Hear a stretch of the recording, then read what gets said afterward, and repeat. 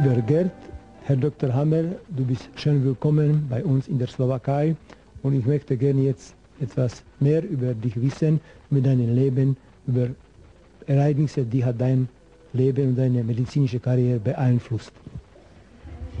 Ja, ich war eigentlich ein ganz normaler Arzt vorher, hatte eine Frau, die auch Ärztin war. Wir hatten uns schon als Studenten kennengelernt und mit 22 geheiratet und hatten vier Kinder. Und ich war Internist und arbeitete an Universitätskliniken, aber eigentlich nur um ein guter Arzt zu werden, nicht um mich äh, zu habilitieren oder so. Ich hatte ein, ein Hobby, das war Patente erfinden. Wenn ich irgendwo in einem Operationssaal war, dann fielen mir gleich zehn Sachen auf, die ich, die man verbessern konnte. Und äh, mein Traum war immer mit diesen Patenten, und das war auch praktisch gerade erfüllt, mit diesen Patenten so viel Geld zu bekommen, dass ich eine Praxis machen konnte in Italien, in Neapel oder wo, wo arme Leute sind, ohne Geld zu nehmen. Das war mein Traum. Und in diesem Moment, wo sich mein Traum gerade erfüllte, erschoss ein verrückter Prinz meinen Sohn im Schlaf. Und der hat dann noch dreieinhalb Monate gelebt, mein Sohn, und äh, ist dann also qualvoll nach 19 Operationen in meinen Armen gestorben. War eine furchtbare Zeit für ihn und für mich. Für, hauptsächlich für ihn, er hat fürchterlich gelitten. Und ja, und da von dem Moment an äh, war ich krank. Ich äh, erkrankte dann an einem Hodenkrebs. Und von da ab habe ich darüber nachgedacht, ob das bei anderen auch so äh, ist, äh, dass die bei einem solchen Schockerlebnis an Hoden, äh, an, an irgendwelchen Krebs erkranken können. Und ich war damals Oberarzt an einer Klinik, die der Münchner Universität angeschlossen war und habe dann mal untersucht und habe festgestellt, dass also bei anderen Patienten das auch so war und habe dann 200 Fälle untersucht. Und das war bei den allen so, dass die auch so ein Schockerlebnis gehabt hatten. Und von, äh, das habe ich dann eingereicht bei der Universität in Tübingen als Habilitation und von da ab habe ich also äh, diese, eigentlich diese neue Medizin äh, hatte ich sie entdeckt und von da ab hat das mich auch nicht mehr losgelassen und äh, die Sache vervollkommnete sich immer mehr. Und der Widerstand natürlich war auch furchtbar. Man, man, äh, es, es, diese Entdeckung drehte praktisch die gesamte äh, Medizin auf den Kopf. Ja? Und äh, ich habe in deinem äh, Lebenslauf gelesen, dass du auch Physik und auch Theologie studiert. Also äh, kannst du etwas darüber sagen, warum hast du dann nur Karriere? Ja, ich habe Theologie studiert, einfach nur um das zu wissen, ob was da nun stimmt und nicht. Und habe da auch Examen gemacht, also Diplom äh, mit, mit 22 und habe aber hatte aber parallel äh, Medizin studiert. Ich habe also und habe dann anderthalb Jahre später äh, Medizinexamen gemacht und hatte aber in der Zwischenzeit dann äh, nach der Theologie auch Physik studiert, also insgesamt zwölf Semester. So dass ich also nun wusste, was ist Naturwissenschaft und was ist Medizin und was ist Geisteswissenschaft, also Theologie. Und das ist mir, hat mir nachher sehr geholfen, weil das ja nun schwierig wurde, denn die Medizin, die Schulmedizin ist ja praktisch ähm, ja, eine, eine Dogmenmedizin. Sie lässt keinen Raum mehr für äh, Überlegungen, dass vielleicht die ganze Sache von Grund auf verkehrt sein könnte. Also ich wäre nur willkommen gewesen in der Schulmedizin, wenn ich eine, eine kleine Sache entdeckt hätte, äh, wie man die bisherige Schulmedizin ein bisschen verbessern kann.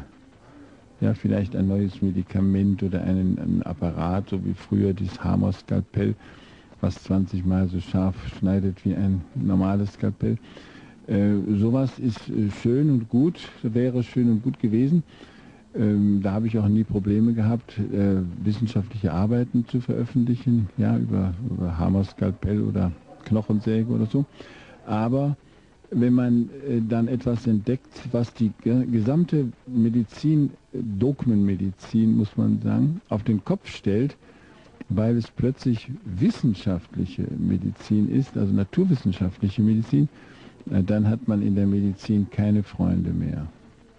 Ich musste auch sofort, ich, äh, ich wurde sofort vor die Alternative gestellt in dieser Klinik, in der ich als Oberarzt arbeitete, entweder sofort abzuschwören oder die Klinik zu verlassen. Ich habe dann gesagt, dann, ich kann nicht abschwören, ich verlasse die Klinik. Und äh, ich habe gehört, dass auch in Koblenz hast du eine Klinik vorher und äh, auch in Österreich war ein Zentrum für Neue Medizin. Sind deine Ideen verbreitet schon auch in anderen Ländern? Und die Situation heute? Die Ideen sind zwar verbreitet, das stimmt, weit verbreitet sogar. Also es gibt äh, viele tausend, hunderttausend sicherlich Bücher und, und, und, und alle möglichen Filme und äh, hauptsächlich auch negative, natürlich in der Presse, Rufmordartikel ähm, und Rufmordsendungen und so. Ähm, aber es wurde mir nie eine Klinik gestattet die Behörden haben immer irgendeinen Grund gefunden, eine Klinik von vornherein abzulehnen. Ja, und ähm, das, äh, man kann heute gar nicht mehr unterscheiden zwischen Staatsbehörden, Staatsgerichten, Staatsmedizin. Das ist äh, jedenfalls in Deutschland, Österreich und, und Frankreich, Schweiz, überall das Gleiche. Äh, und ich erinnere an einen Ausspruch dieses einen äh, Menschen da, den wir getroffen haben, der sagte, was wollen Sie eigentlich hier? Wir sind Schulmedizin und äh, wenn Sie doch gegen Schulmedizin was sind, was wollen Sie hier? Ähm, es ist so, dass wenn man die ganze Medizin wissenschaftlich auf den Kopf stellt, dass man natürlich dann auch die, Be die Besitzstände auf den Kopf stellt. Ich meine, ein Professor, der jetzt Professor für Onkologie ist, der ist anschließend Professor für Unsinn. Ne? Er ist kein Professor mehr. Ist, ist, für, für, Blödsinn ist der Professor. Ne? Ja, wahrscheinlich dazu noch kommen wir. Jetzt möchte ich wissen, wie war mit deiner ärztlichen äh, Zulassung, weil die war entzogen in Deutschland, habe ich gehört. Kannst du ein paar Wörter dazu sagen? Also die Sache ist so, seit 17 Jahren läuft dieses Habilitationsverfahren an der Universität Tübingen. Und die haben das schon mehrmals ablehnen wollen, aber das Gericht hat also das äh, nicht zugelassen, ähm, weil sie auch Formfehler gemacht hatten, aber auch weil sie, äh, weil ich immer argumentiert habe, sie haben das ja nicht geprüft, sondern sie sagen einfach nur, das ist nicht Schulmedizin und wird abgelehnt. Und das geht nicht. Und so läuft dieses Habilitationsverfahren, ein, ein, ein makabrer, trauriger Rekord in Deutschland seit 17 Jahren. Und 1986, also vor, 13, vor, vor, vor 12 Jahren, hat man äh, mir die Approbation entzogen, buchstäblich wegen Nicht-Abschwörens der neuen Medizin und mich nicht bekehrens zur Schulmedizin. Und alle paar Jahre bekomme ich dann also einen, äh, wieder einen, ein Revers vorgelegt, das ich unterschreiben soll, äh, dass ich abschwöre. Dann dürfte ich wieder praktizieren. Und das kann ich natürlich nicht. Und so habe ich seit zwölf Jahren Berufsverbot. Es ist praktisch lebenslängliches Berufsverbot gewesen. Ähm, und wie gesagt, ich dürfte nur wieder praktizieren, wenn ich abschwören würde. Und, und äh, du, du weißt ja, wie das dann weitergelaufen ist. Äh, inzwischen bin ich wegen dreimaligen Sprechens über die neue Medizin mit einem Patienten unentgeltlich, also ohne Geld zu nehmen, wegen dreimaligen Sprechens über neue Medizin, äh, ein Jahr im Gefängnis gewesen.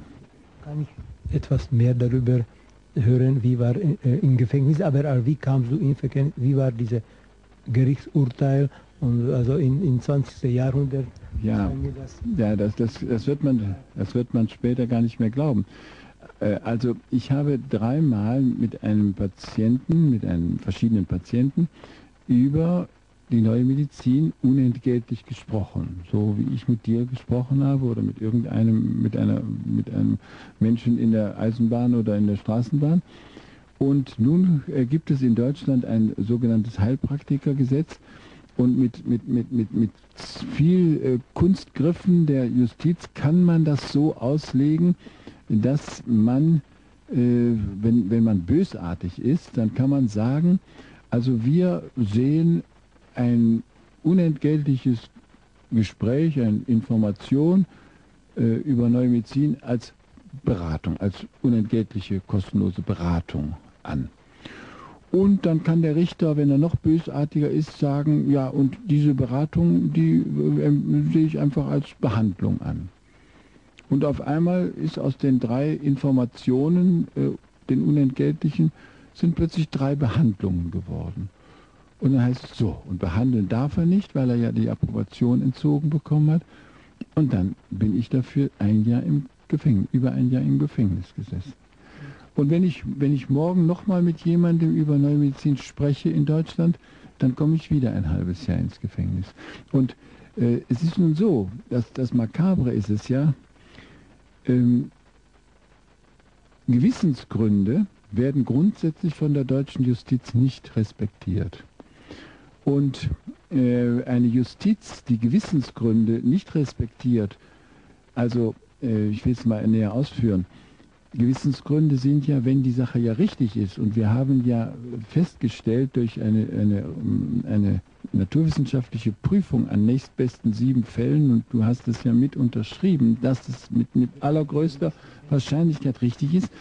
Wenn also eine Sache richtig ist, die eine 95-prozentige Überlebensrate äh, äh, verspricht, seriöserweise verspricht, gegenüber derzeitiger 98-prozentiger Mortalität bei Krebstherapie, wenn man also äh, sagt, ich kann das vor meinem Gewissen nicht verantworten, einem armen Teufel nicht zu informieren, ihm nicht zu sagen, was denn die neue Medizin ist, wenn eine, ein Gericht solcher Gewissensgründe nicht respektiert und wenn ein äh, Gericht auch gar nicht wissen will, ob das denn richtig ist, sondern geradezu verboten hat, das zu untersuchen, ja?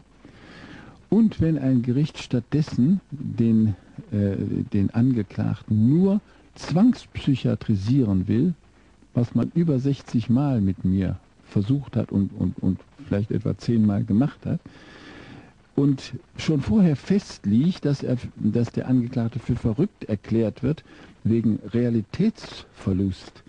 Das heißt, äh, wenn eine Million A glauben und einer sagt B, dann ist der B verrückt. Der, der B sagt verrückt. So einfach ist das. Und vor allen Dingen wird diese Psychiatrisierung äh, durch meine Gegner vorgenommen. Also meine, meine wissenschaftlichen Gegner dürfen sagen, der Mann ist amtlich verrückt.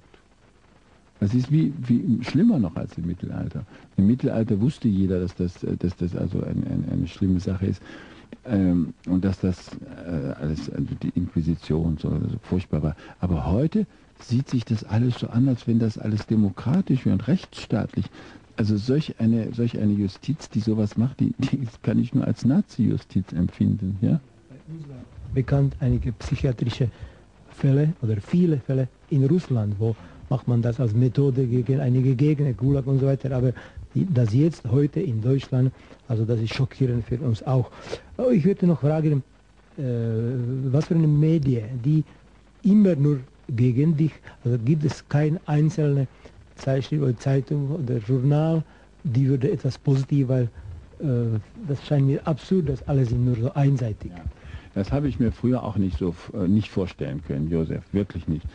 Aber du musst vorstellen, dass die Pharmakonzerne Konzerne und die Medien und die Banken und, und alles gehört den gleichen wenigen Leuten in Deutschland, den, den paar Kapitalisten, Superkapitalisten. Und diese äh, Superkapitalisten mit den Kreisen, die hinter ihnen stehen, ideologisch, ne, äh, für die würden gewaltige Einbußen entstehen, wenn nun plötzlich diese ganze Chemo äh, nicht mehr äh, nötig wäre. Ja? Derzeit äh, bringt ein Patient, der 98 Prozent von ihnen werden ja umgebracht praktisch äh, durch die Therapie, sogenannte Pseudo oder Pseudo, sogenannte Therapie im Grunde Pseudotherapie. Und jeder Patient bringt zwischen 300 und 500.000 Mark in die Kassen bei dieser Chemo-Pseudotherapie. Äh, und in der neuen Medizin würde der vielleicht noch vielleicht 5.000 oder 10.000 Mark äh, kosten. Ne? Und er könnte weitere 30, 40 Jahre leben. Und das ist so grauenhaft, so schlimm. Der Professor Beck, der Nestor der deutschen äh, Professoren für Geschichte der Naturwissenschaften in Bonn, er hat gesagt, das wäre das äh, grausigste und schlimmste Verbrechen der Menschheitsgeschichte, was hier vor sich geht. Ich bin auch überzeugt darüber, dass das der Fall ist. Und da kann ich... Ja? Die, die, Gerichte, äh, die Gerichte, die, die, stecken auch mit denen unter einer Decke. Ja? Die, die Richter sind bei uns praktisch alle Logenrichter. Ja? Und die Freimaurer, Logenrichter. Und diese Freimaurerlogen äh, sind auch die, die die Pharmakonzerne besitzen und die Banken besitzen und so weiter. Ähm, äh, in der Spitze halt die Logenmeister, ist ja nur immer einer, der was zu sagen hat in solch einer Loge. Ne?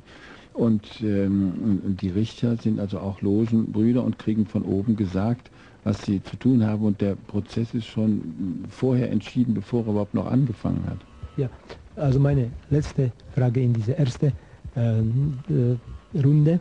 Also äh, als neugierige Frage, wie war im Gefängnis? Ein Jahr solcher intellektuell und kreativer Mensch ja. äh, im Gefängnis. Was hast du dort gemacht?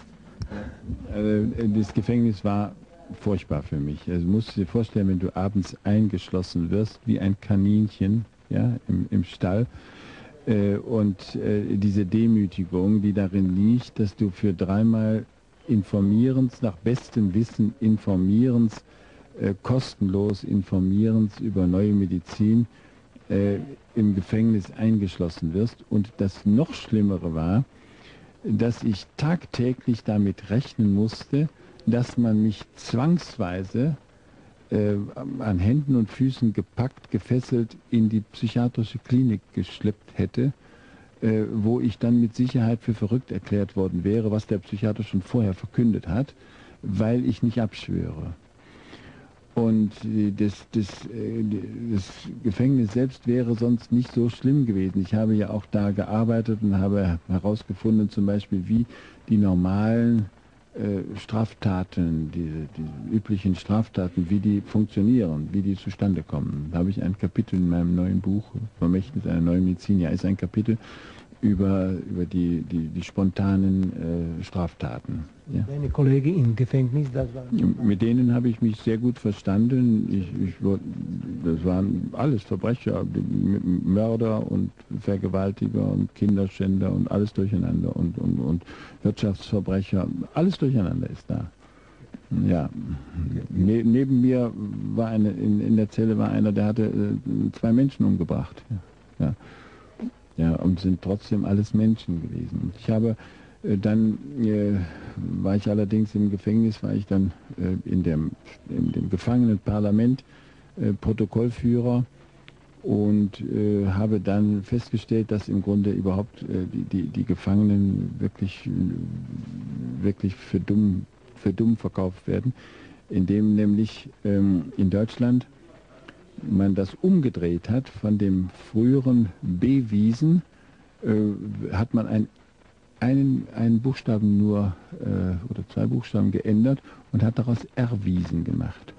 Und das R-Wiesen, das heißt nun, dass der äh, Richter das subjektiv äh, sagen kann, für mich gilt das als erwiesen. Und der Staatsanwalt braucht gar nichts mehr beweisen. Man, man kann also wegen, wegen einem Huster kann man für fünf Jahre Gefängnis verurteilt werden. Und der, der Richter kann das frei äh, äh, entscheiden, sagt er, ich sehe das als erwiesen an und fertig. Früher war ein Angeklagter so lange unschuldig, als wie man ihm etwas nicht bewiesen hatte. Heute ist er äh, von Anfang an schuldig und er soll seine Unschuld beweisen. Das kann er aber aus dem Gefängnis gar nicht, und äh, der, der Richter sagt dann einfach, ich, ich nehme den Beweis nicht entgegen. Genau wie der Richter äh, den Beweis der Richtigkeit der neuen Medizin einfach nicht entgegengenommen hat, obwohl es dafür 50 oder noch viel mehr äh, Gutachten inzwischen gibt. Und du sagst einfach, ich nehme den Beweis nicht entgegen.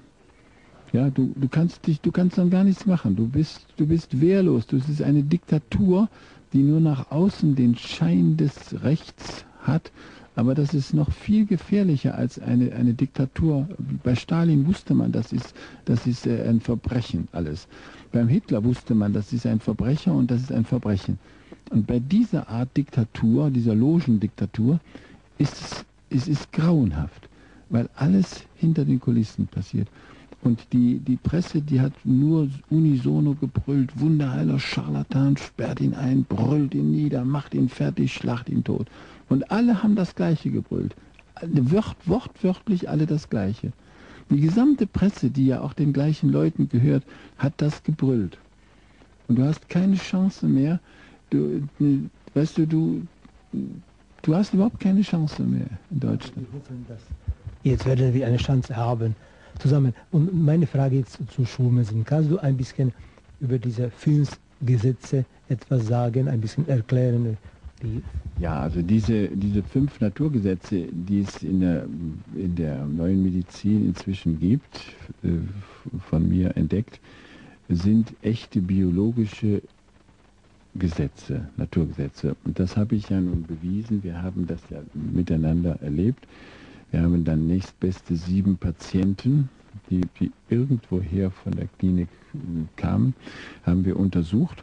Und wir haben festgestellt, dass diese fünf biologischen Naturgesetze immer gestimmt haben. Und ihr habt ja freundlicherweise das auch redlicherweise attestiert in einem in einem äh, in einer Urkunde. Äh, die Sache ist so: Die Schulmedizin, äh, da gibt es keine Naturgesetze, sondern nur Hypothesen und Statistik. Das gehört immer zusammen. Das weißt du ja als Mathematiker, wenn man nur Hypothesen hat, dann macht man Statistik und dann versucht man da irgendwie eine Signifikanz rauszurechnen. Ne? Ähm, deshalb in der Schulmedizin gibt es keine, keine Fakten, die du nachprüfen kannst, sondern es gibt nur äh, Annahmen, Vermutungen, Hypothesen und, und mit so und so viel Wahrscheinlichkeit. In der Schulmedizin äh, hatten wir Krankheiten einfach nur nach Symptomen geordnet, nach körperlichen Symptomen geordnet und hatten die Symptome äh, abfragbar in Lehrbücher geschrieben. Also äh, die und die Krankheit hat fünf Symptome, die mussten wir auswendig lernen und die Therapie besteht in, in drei Möglichkeiten, die mussten wir auch auswendig lernen. Aber wenn wir einen Professor gefragt hatten, ja, woher kommt denn das? Das wusste er nicht. Das wusste niemand in der Medizin. Ja? Und in der neuen Medizin ist das nun völlig anders. Wir, diese, diese fünf Naturgesetze ermöglichen uns, wie du ja selbst erlebt hast, äh, dass wir ursächlich ähm, eine, eine, eine sogenannte Erkrankung verstehen können. Ja? Diese Erkrankung nennen wir nicht mehr Erkrankung, sondern ein Sonderprogramm. Äh, wir hatten also früher in der Medizin 500 kalte sogenannte Krankheiten und 500 heiße sogenannte Krankheiten. Und in der neuen Medizin haben wir jetzt gelernt, dass das alles zweiphasige Geschehen sind. Zuerst eine kalte Phase und dann eine heiße Phase, sodass wir nur noch die Hälfte äh, dieser von, der, von äh, sogenannte Erkrankungen haben, diese sind aber jetzt zweiphasig, also nennen sie jetzt Sonderprogramme. Ja? Und das Besondere ist, dass diese Sonderprogramme sinnvoll sind. Bei der, in der Schulmedizin war alles bösartig, Entgleisungen, Pannen und und äh, da musste der Doktor dann äh, mit dem äh, dagegen kämpfen und mit, mit Antibiotika und mit Bestrahlung und Chemo und weiß was ich, alles musste er die bösen Feinde bekämpfen und, und das, man nannte das immer bösartig. Also der Krebs war bösartig, und Mikroben waren bösartig und alles Mögliche war bösartig. Und der Arzt musste also diese Bösartigkeiten der Natur bekämpfen. Das war totaler Unsinn. Denn wir sehen jetzt in der neuen Medizin, dass diese Sonderprogramme allesamt äh, biologisch sinnvoll sind. Sie äh, natürlich ähm, äh, schließen sie diese moderne Zivilisation nicht mit ein. Ja, also ein, ein, Hirsch hat sein Revier, das ist ein bestimmtes Waldgebiet, das ist sein Revier. Nun, der Mensch äh, hätte auch solch ein Revier normalerweise, nicht? Eine, seine Großfamilie und das wäre sein Revier. Und nun äh, soll er plötzlich, empfindet er das Auto als sein Revier oder eine, eine, eine, eine Mietwohnung von zweieinhalb Zimmern empfindet er als sein Revier. Nicht? Und, und lauter äh, Revierhirsche in so einem Hochhaus, äh, 500 Stück, nicht? Äh, das gibt es im Wald nicht, sondern innerhalb dieses Reviers ist der Hirsch der Einzige. Nicht? Und dann ist erst das Nachbarrevier, da kümmert er sich gar nicht drum. Und diese äh, archaischen Programme sind also eigentlich für eine, eine, eine Steinzeit gemacht. Ja? Da passt unsere Zivilisation nicht hinein. Aber ob wir das nun wahrhaben wollen oder nicht, es läuft eben so. Und, und wir reagieren, ohne dass wir das ändern können, immer in dieser steinzeitlichen Weise mit diesen archaischen Konflikten, also Verhungerungskonflikt oder äh, Todesangstkonflikt oder äh, den Konflikt um den Brocken, den Brocken nicht zu fassen kriegen, den Brocken nicht runterschlucken können, den Brocken äh, nicht verdauen können und so weiter und so fort, ja, oder, oder auch Trennungskonflikte oder, oder Revierkonflikte oder sexuelle Konflikte und sowas mehr, nicht? Diese ganzen biologischen Konflikte, äh, mit denen reagieren wir und das sind eben keine psychologischen Konflikte, sondern biologische Konflikte. Das sind bei jedem Tier und bei jeder Pflanze im Grunde äh, analog. Also eine Pflanze hat andere Konflikte, aber analog läuft das ab. Beim Tier sogar sehr analog, also fast, fast ähnlich wie bei Menschen. Nicht? Auch sehen wir beim, beim Säugetier zum Beispiel an der gleichen Stelle des Gehirns dann diesen harmonischen Herd. Der Ausdruck ist äh, dieses Konfliktes auf zerebraler Ebene, auf Gehirnebene. Also bei uns ist dieses ganze Geschehen immer drei in drei Ebenen oder drei Etagen, Psyche, Gehirn und Organ. Und diese, diese drei Ebenen laufen immer synchron. Also das, was in der Psyche passiert, passiert in derselben Sekunde auch im Gehirn und in derselben Sekunde auch am Organ. Und wenn wir das Organ betrachten, dann wissen wir schon genau, aha, jetzt müssen wir im Gehirn das und das finden und in der Psyche das und das finden. Oder wenn wir das Gehirn sehen, dann sagen wir, aha, guck mal, das Gehirn sieht so und so aus, also muss das in der Psyche im Moment so und so aussehen. Und auf, an dem Organ muss das so und so aussehen. Wir können also nun mit diesen drei Ebenen und mit diesem Verlauf und dass das alles synchron ist, können wir gut arbeiten. Und mit diesen Naturgesetzen und haben nun bei jedem Fall praktisch so etwa, wie wir ja uns äh, gestern überzeugt haben, etwa 100 Fakten, die wir abfragen können äh, nicht bei jedem Patienten nur, sondern äh, bei jeder sogenannten Erkrankung oder wir nennen das ja Sonderprogramm. Also wenn ein Patient zum Beispiel ähm, ein, ein, ein Brustkrebs hat und hat Lungenrundherde und Knochenherde, dann, dann hat er schon drei äh, sogenannte Erkrankungen oder Sonderprogramme in unserer Sprache. Und dann können wir schon 300 solche Fakten abfragen. Ja, etwas, etwas Präziseres hat es äh, seit Menschengedenken niemals in der Medizin gegeben, weil es ja nie eine naturwissenschaftliche Medizin gab, sondern immer nur diese Hypothesen, äh, Symptommedizin, die eben dachte, wenn da irgendwo ein Tumor wächst, dann muss man den wegschneiden. Also zum Beispiel eine Mutter, die äh, ihr Kind verunglücken sieht, die, da wächst dann ein Tumor, wenn sie Rechtshänderin ist, in der linken Brust. Und wir dachten nun immer, das ist sinnlos, da müssen wir wegschneiden. In Wirklichkeit war das aber nicht sinnlos, sondern das Kind bekam dann doppelt so viel Milch, um schneller wieder gesund zu werden. Und wenn man also ruhig abwartet und weiß, was da passiert, dann weiß man auch, dass nach dieser Lösung des Konflikts, wenn das Kind also wieder gesund ist, dass dann ähm, dieser Tumor von alleine tuberkulös verkäst, das hast du ja auch gehört, dass der Verkehr ist tuberkulös und dann ähm, abgebaut wird und dass die Mutter anschließend keinen Tumor mehr in der Brust hat, wenn sie auch keinen mehr, mehr braucht, denn das Kind braucht ja jetzt nicht mehr Milch, als, als nötig ist. So, und und das ist der besondere, das die besondere Unterscheidung aufgrund der Naturgesetze, dass wir nun wissen, wie das läuft, wie das weiterlaufen wird, warum es so gelaufen ist und so weiter und so fort. Und dass wir das als sinnvollen Prozess ansehen können, weil wir das eben verstehen.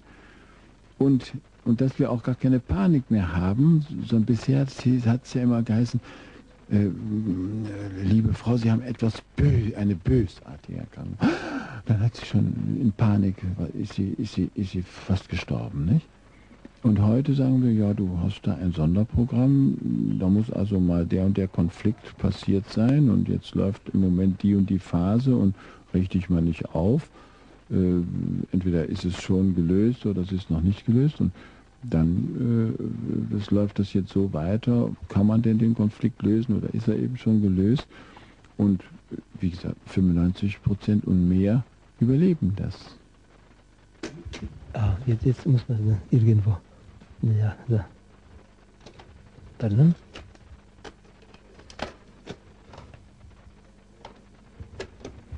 Äh, ich war überrascht mit deiner sehr positive, ethische und solche menschliche, geduldsame Haltung zu Patienten. Ist das immer in Neumedizin äh, und muss ein Arzt in Neumedizin mehr wissen als klassischer Arzt oder äh, weil diese Neumedizin scheint nicht so kompliziert, dann wahrscheinlich muss er nicht so viel wissen. Ja, das ist so. Du hast das ja miterlebt, wie wir diese Patienten befragen da. Ne? Und äh, der, die Neumedizin hat ein ganz anderes Verständnis von Arzt und Patient. Bisher gab es die Chefärzte und Oberärzte und, und, und Generalsoberärzte oder was weiß ich.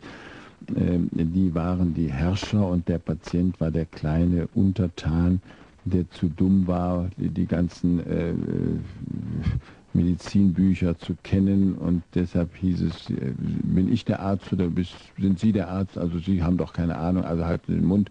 Äh, Sie kriegen jetzt die und die Medikamente oder die, die, die Spritzen und fertig, Schluss, keine Widerrede. Ne?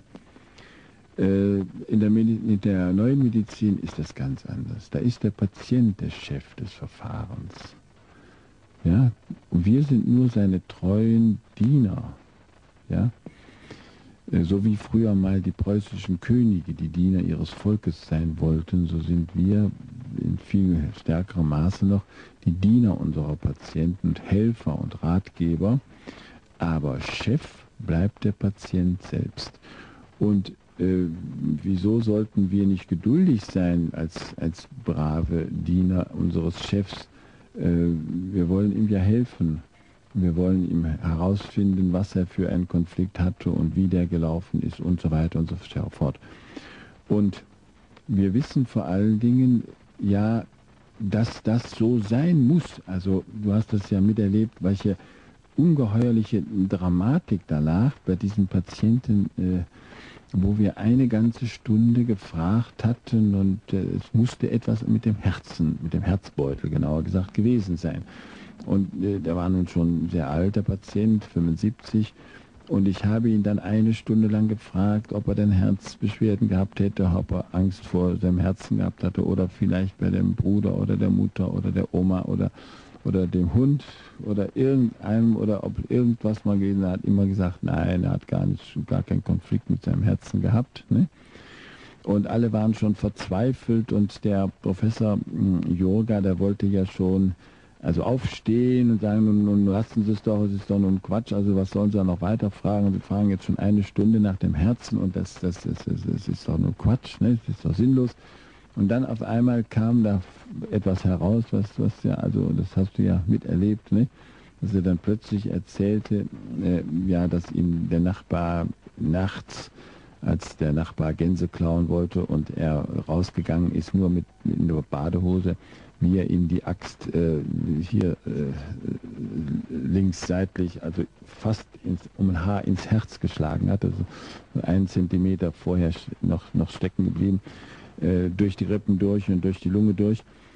Äh, und das war der schlimmste Herzkonflikt, den man sich überhaupt vorstellen kann, mit der Axt ins Herz geschlagen zu kriegen oder, oder bis ans Herz geschlagen zu kriegen.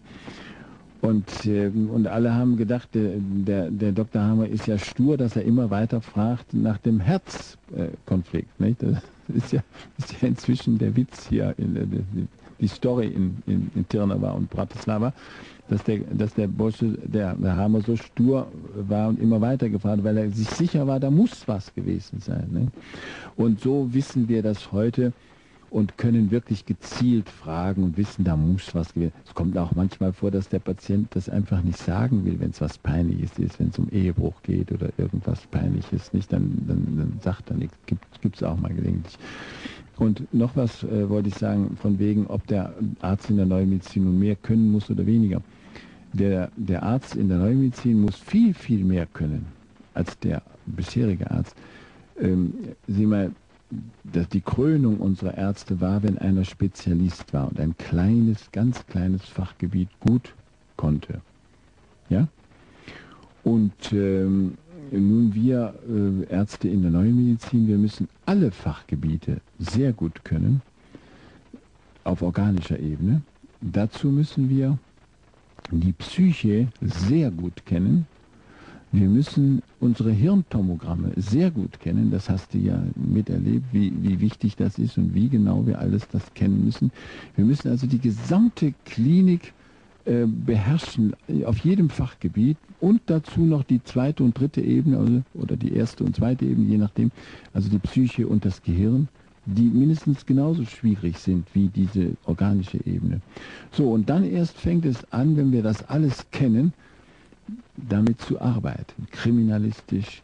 Und wenn wir das auch können, dann kommt es noch darauf an, ob der Arzt Charisma hat, ja, ob er wirklich äh, ein, ein, ein Charisma hat, dass er da dem Patienten wirklich helfen kann. Ja, auch wenn er alles weiß und da sitzt er davor eventuell und er findet zwar alles, aber der Patient kriegt zu ihm keinen Kontakt, dann, dann nützt auch nichts. Ja? Und bei, dieser, äh, bei diesen Voraussetzungen können wir höchstens jeden hundertsten Arzt gebrauchen. Ja? Und es gibt es nicht mehr bei uns, dass wir da mal, also so Spezialisten haben, der eine versteht nur was von Gynäkologie, der andere nur was von Ohr und der dritte nur was von Auge und der vierte nur von das. Wir müssen alles können. Wir müssen nicht alles operieren können zum Beispiel oder so, das nicht. Aber wir müssen alles wissen und beurteilen können und mit diesen anderen Ebenen in Zusammenhang bringen können. Über Chemotherapie und äh, Strahlung, also manchmal spricht man das, damit kann man Patientenleben verlängern. Äh, zum Beispiel der äh, große Sänger, der hat äh, Leukämie, hat große Propagandakonzerte und so weiter. Du hast gesagt, dass du gibst diese nur diese Medikamente oder Therapie du würdest du für sich und seine Familie verordnen. Also kannst du etwas dazu sagen, warum diese? Also, also es ist so, äh, da, da, werden immer solche, solche äh, Erfolge aus dem Hut gezaubert. Es gibt kaum einen Menschen, der nicht mal einen Selbstwerteinbruch hat. Das sehen wir dann daran, dass die Leukozyten steigen. Und äh, wenn man dann eine, eine Sternalpunktion macht oder eine Beckenkampunktion macht, dann sieht man, jetzt hat er gerade eine Leukämie. Das ist normalerweise überhaupt was völlig Häufiges und gar nichts Schlimmes überhaupt. Das ist nach ein paar Wochen wieder weg. Und nun werden dann irgendwelche so Vorzeigepatienten da präpariert und da heißt es, ja, die haben Chemo gekriegt. Meistens haben die nur irgendwie symbolisch ein paar äh, äh Tropfen Chemo gekriegt und die werden als Reklamefälle benutzt. Äh, Leukämie ist was total harmloses. Äh, ich kenne 500 äh, oder noch mehr Leukämie-Patienten, keiner stirbt daran, wenn er nicht in Panik gesetzt wird und wenn er nicht Chemo kriegt. Und diese Chemo-Pseudotherapie hat eine Mortalität, eine amtlich festgestellte Mortalität von 98 Prozent. Nach, dem Standes, nach der Standesamtsstatistik sind nach fünf Jahren 95 Prozent tot und nach sieben Jahren sind 98 Prozent tot. Das ist die amtliche Standesamtsstatistik. In der neuen Medizin überleben 95 Prozent. Das haben wir sogar jüngst fest, amtlich festgestellt bekommen, indem die Staatsanwaltschaft in Österreich, also unser Zentrum in Burgau, gestürmt hat und hat unsere Computer erbeutet und hat da 6500 Adressen von Patienten gefunden, die also alle im Zentrum gewesen waren. Äh, in, Heil, in Österreich gibt es ja das Heilpraktikergesetz nicht, also da ist es nicht verboten, über neue Medizin zu sprechen. Und es waren eben auch Ärzte da, mit denen man da sprechen konnte. Und äh, von diesen 6500 Patienten hatten 6000 überlebt. Das sind also über, über 90 Prozent, ja.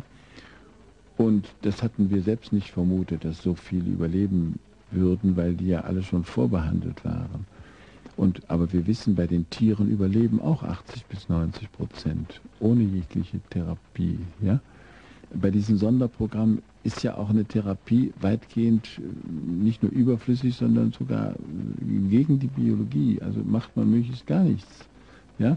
Wenn der Patient ja weiß, dass das in ein paar Wochen oder, oder äh, Tagen oder Wochen oder zwei Monaten wieder in Ordnung ist, dann, dann braucht er ja auch nichts machen. Dann sagt er, nö, nö, das halte ich ja gut aus, ich weiß ja, wie das läuft und das macht mir nichts, äh, das, das halte ich ja durch.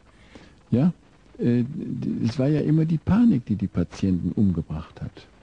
Ja, wenn, sie, wenn, sie, wenn, sie, wenn sie wissen, was, die, was da auf sie zukommt, dann, dann, dann ist das nicht schlimm. In der, deshalb in der neuen Medizin überleben fast alle. Noch letzte Frage in dieser Runde. Äh, Konflikt, also alle erleben viele Konflikte, zum Beispiel in Russland sind hunderte, tausende von Konflikten bei dieser Krise. Also kann man erwarten, in ein paar Jahr, Jahren und Monaten äh, einige Wachstum von Krankheiten. Und Frage ist also, wie würdest du diesen Konflikt äh, definieren und äh, warum einige Konflikte bringen keine äh, Probleme und einige sind so. Also wir unterscheiden da zwischen äh, Problemen oder, oder früher haben wir psychologische Konflikte dazu gesagt.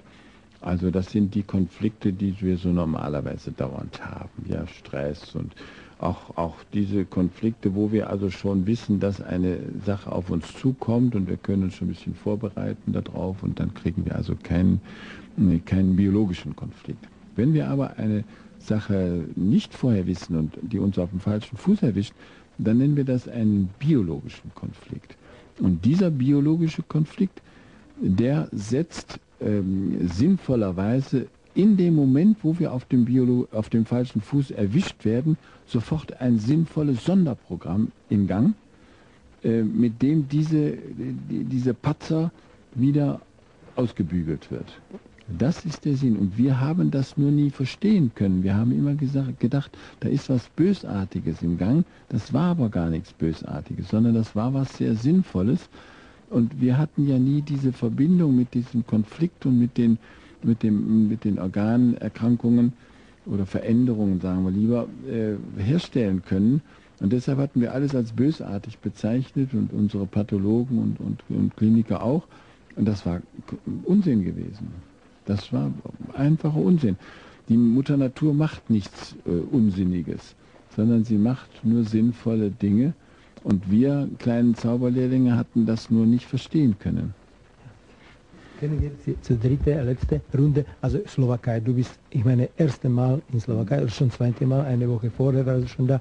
Also, äh, wie kannst du sagen über diese ein paar Tage hier und warum gerade Slowakei und was erwartest von uns oder was könnten wir für diese Sache? Also die Slowakei hat, hat mir sehr, sehr geholfen, du insbesondere und äh, einige Kollegen von dir. Und dafür bin ich sehr dankbar und, und bedanke mich auch an dieser Stelle nochmals. Aber wir haben, ihr habt mir die Möglichkeit gegeben, was bisher alle Universitäten verweigert haben, alle Universitäten, nämlich redlich an nächstbesten Fällen, wir haben sieben Fälle untersucht, zu untersuchen, ob die fünf Naturgesetze der neuen Medizin wirklich immer zutreffen. Also in Hunderten von Malen, wo wir das abfragen können, also immer zutreffen, ausnahmslos zutreffen. Und wir haben festgestellt, das war der Fall. Und ihr, ihr drei, die ihr unterschrieben habt, also du als Prorektor, dann der Dekan der medizinischen Fakultät und äh, der Vorsitzende der Kommission, der, der Psychiater Dr. Bogadi. Äh, ihr habt also unterschrieben, redlicherweise, jawohl, die Sache wurde untersucht nach naturwissenschaftlichen Gesichtspunkten. Du bist ja Mathematiker, Naturwissenschaftler. Ähm, die wurde nach äh, naturwissenschaftlichen Gesichtspunkten untersucht. Es war in Gegenwart einer großen Anzahl von Klinikern, also der Dekan ist ja Onkologe, und ihr habt festgestellt, jawohl, diese fünf Naturgesetze sind immer anwendbar gewesen und es gab keinen Fall, wo also irgendwo eine, ein Faktum nicht mit den Naturgesetzen übereingestimmt hätte. Ist ja richtig. Ne? Ja. ja. Und sieh mal, jetzt habt ihr diese Sache unterschrieben. Ich halte es mal in, in die Kamera. Ja? Ja? Ihr habt nun diese Sache unterschrieben, redlicherweise, und nun ist natürlich, vielleicht haben das nicht alle so bemerkt, die, die deine Kollegen, in, das ist ein, eine Revolution. Es hat zwar schon eine Reihe von Überprüfungen gegeben, 50 bestimmt schon, aber es hat nie eine Universität in der gesamten Spitze der Verantwortlichen unterschrieben, jawohl, die Sache ist korrekt geprüft worden und sie stimmt. Das ist ein Novum. Und die Universität hat es neunmal nicht gemacht, die Universität in Tübingen. Ja, sie haben immer nur gesagt, wir wollen das nicht prüfen, sondern wir wollen nur dogmatisch äh, sagen, äh, das ist nicht Schulmedizin. Aber ich meine, unter uns Naturwissenschaftlern ist das kein Argument, sondern in, in, auf der ganzen Welt, das äh, weißt du so gut wie ich, gilt in der Naturwissenschaft nur die Reproduzierung am nächstbesten Fall als Beweis. Ne? Und je nachdem, also man kann also, je nachdem wie viele Fälle man braucht, um das zu verifizieren, äh, wenn man 100 Fakten abfragen kann bei jeder sogenannten Erkrankung oder Sonderprogramm, dann ist man schon nach zwei Fällen auf astronomischen äh, Werten der Wahrscheinlichkeit auch korrekt. Ne? Ja, ja, ja. Und wir haben nun also sieben Fälle mit, mit, mit, mit über 20 äh, Sonderprogrammen abgefragt. Also wir, wir, wir, wir, konnten 2000 Fakten abfragen. Ja, das ist also fast ne, 1500 ab, abfragen. Ne? Also das ist astronomisch, das ist, ist, gar nicht mehr berechenbar für normalen Menschen. Ne? Mit Computer geht das? Ja, mit dem Computer geht das noch mit, mit, mit, ja. Aber verstehst du, jetzt sind wir nun in, dabei und nun haben wir eine neue Medizin, eine, jetzt haben wir zwei Medizinen eigentlich. Ja? Die eine ist naturwissenschaftlich reproduzierbar Sie ist also naturwissenschaftlich, diese neue Medizin. Und die andere Medizin ist nicht reproduzierbar, sondern nur Dogmatik, nur Dogmen, aber nur Hypothesen, tausende von Hypothesen. Wenn irgendwas nicht stimmt, wird eine neue Hypothese schnell gemacht, dann sagt man, ja, man geht davon aus, es ist vielleicht ein Kofaktor oder ein Coenzym oder es ist vielleicht ein, ein, ein, ein, ein, ein Kobakterium oder äh, ein, ein Co-Virus oder irgend sowas oder ein Slow-Virus oder irgend sowas.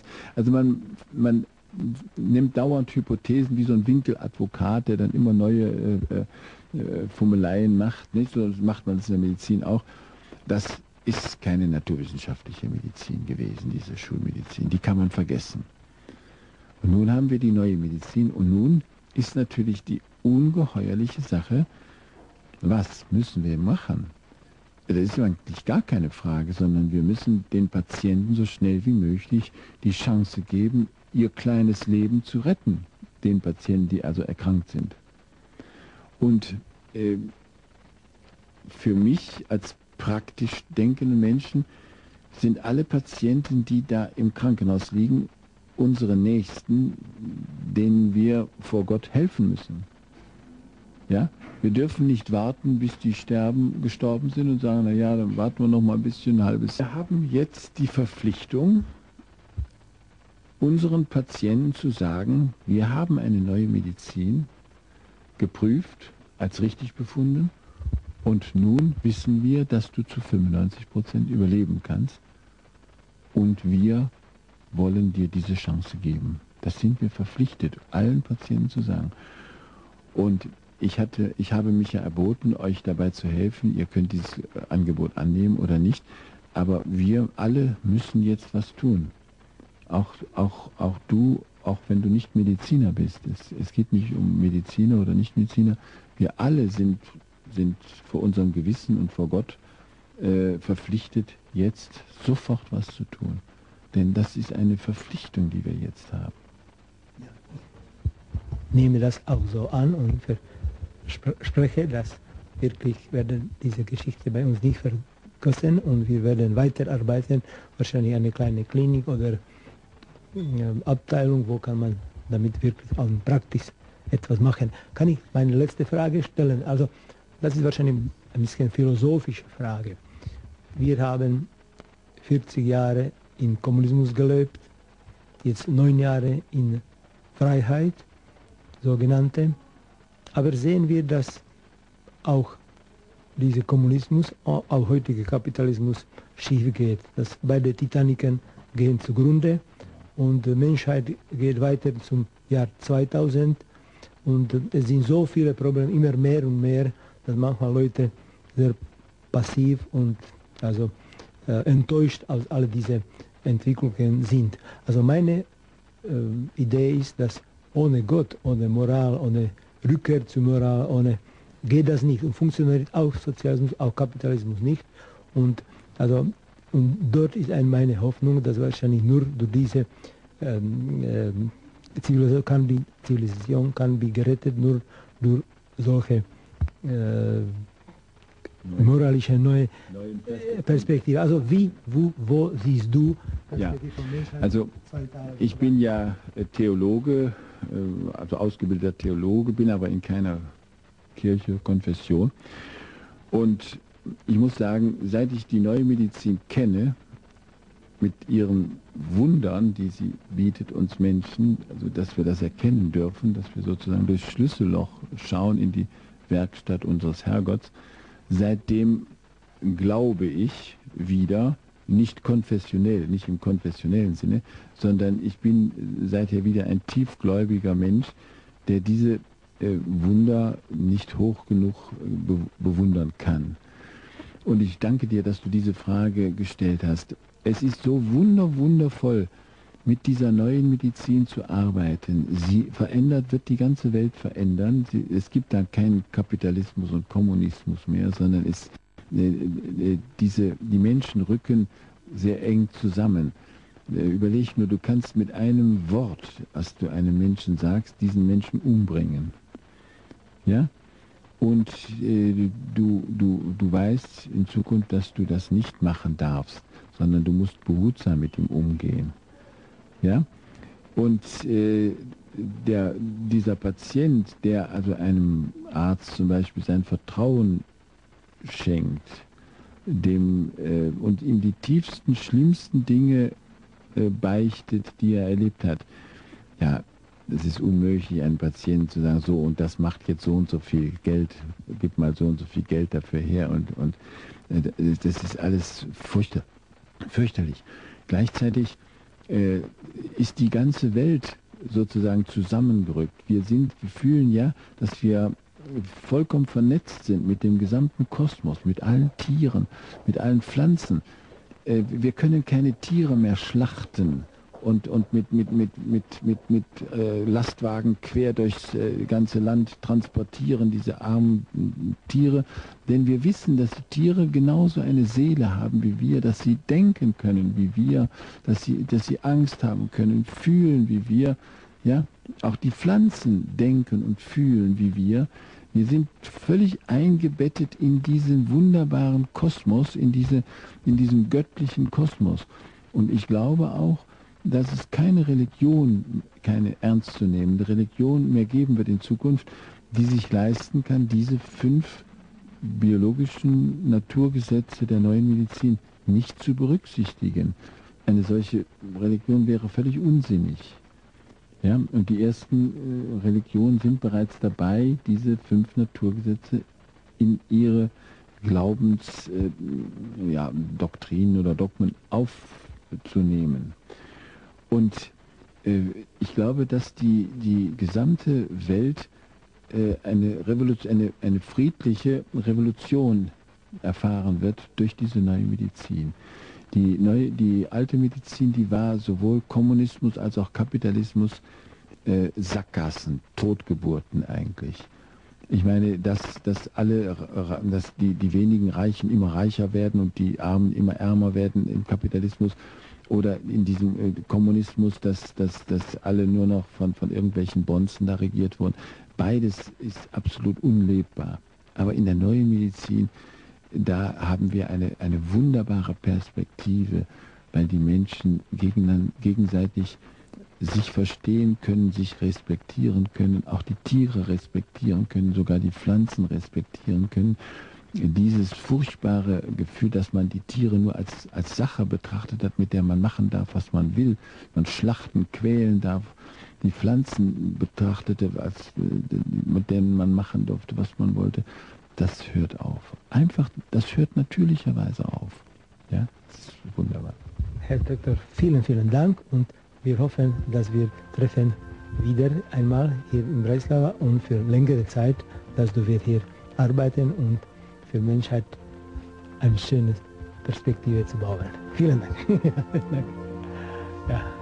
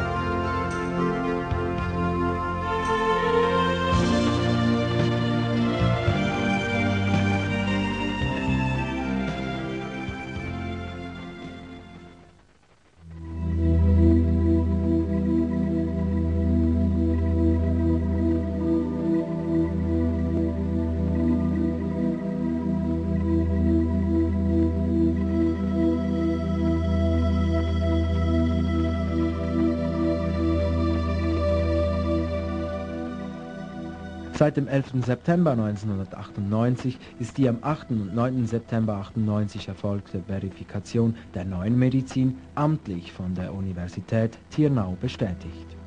Unterschrieben haben dieses Dokument der Prorektor, der Dekan und der Vorsitzende der Wissenschaftlichen Kommission, Professor für Psychiatrie.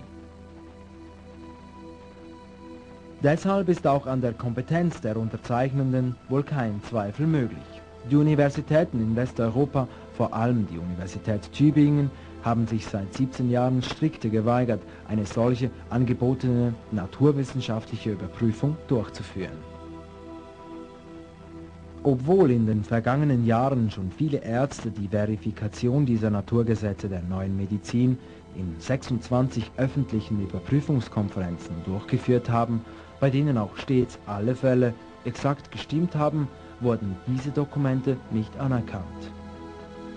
Immer und überall wurde argumentiert, solange diese Überprüfung nicht durch eine Universität amtlich durchgeführt sei, zähle sie nicht. Und solange dies nicht geschehen sei, sei die Schulmedizin anerkannt. Die neue Medizin, die aus fünf biologischen Naturgesetzen ohne zusätzliche Hypothesen besteht und für Mensch, Tier und Pflanze gleichermaßen gilt, ist so klar und logisch kohärent, dass man sie leicht wie man sieht, redlich und gewissenhaft schon immer am nächstbesten Fall hätte überprüfen können und natürlich überprüfen hätte müssen, wenn man nur gewollt hätte. Rufmord, Medienkampagnen und Medienhetze oder Berufsverbot sowie diverse Attentatsversuche und angedrohte Zwangspsychiatrisierung bis hin zur Inhaftierung ersetzen nicht wissenschaftliche Argumente, um einen wissenschaftlichen Gegner zu widerlegen. War nicht die Erkenntnisunterdrückung, wie man jetzt erkennen kann, nur Ausdruck blanker Gewalt, um Macht- und Besitzstände der alten Medizin aufrechtzuerhalten? Die neue Medizin ist die Medizin der Zukunft. Ihre weitere Verhinderung macht das Verbrechen an der Menschheit täglich größer. In offiziellen Statistiken wie der des Deutschen Krebsforschungszentrums Heidelberg ist immer wieder nachzulesen, dass von den schulmedizinisch mit Chemo behandelten Patienten nach fünf Jahren nur noch ganz wenige am Leben sind. Die Staatsanwaltschaft Wiener Neustadt musste demgegenüber zugeben, dass von den bei der Hausdurchsuchung des Zentrums für Neue Medizin in Burgau beschlagnahmten 6500 Patientenadressen auch nach vier bis fünf Jahren noch über 6000 am Leben waren. Nun ist die Forderung erfüllt. Jetzt haben die Patienten ein Recht darauf, dass das grausigste und schlimmste Verbrechen der Menschheitsgeschichte endlich beendet wird und dass alle gleichermaßen die Chance erhalten, offiziell nach den fünf biologischen Naturgesetzen der neuen Medizin gesund zu werden. Dazu rufe ich alle redlichen Menschen auf und bitte sie um ihre Mithilfe.